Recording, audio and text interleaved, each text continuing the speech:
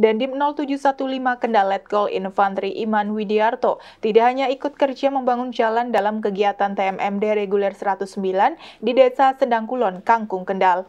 Dandim juga menunjukkan kepedulian pada warga yang membutuhkan dengan membantu paket sembako. Pelaksanaan kegiatan fisik TMMD reguler ke-109 Kodim 0715 Kendal di Desa Sendangkulon, Kecamatan Kangkung, selalu mendapatkan dukungan penuh dari Dandim 0715 Kendal, Letkol Infantri Iman Widiarto. Orang nomor satu di jajaran Kodim 0715 Kendal ini selain memberikan motivasi kepada seluruh anak buah yang melaksanakan TMMD, tak jarang dirinya juga ikut menyingsingkan lengan membantu kerja bakti gotong royong TNI bersama warga. Bahkan tak segan-segan, Dandim juga memberikan bingkisan bantuan paket sembako kepada masyarakat yang tengah kerja bakti memperbaiki jalan menuju daerah terisolir.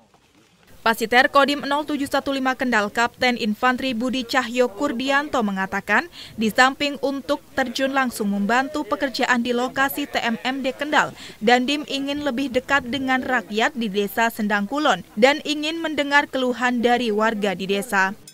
Lebih jauh, Pasiter mengatakan dengan sering datangnya Dandim ke lokasi TMMD menjadi obat yang mujarab untuk memacu semangat dari para warga untuk lebih giat saat kerja bakti bersama TNI. Kemudian Kodim 0715 Kendal itu memang tipenya merakyat. Jadi apa pun bentuk pekerjaan, beliaunya itu langsung terjun ke masyarakat. Hmm. Jadi tahu persis bagaimana kondisi rakyat di masyarakat, di, di masyarakat secara langsung. Hmm. Dari Kendal, tim liputan Ratih TV memberitakan.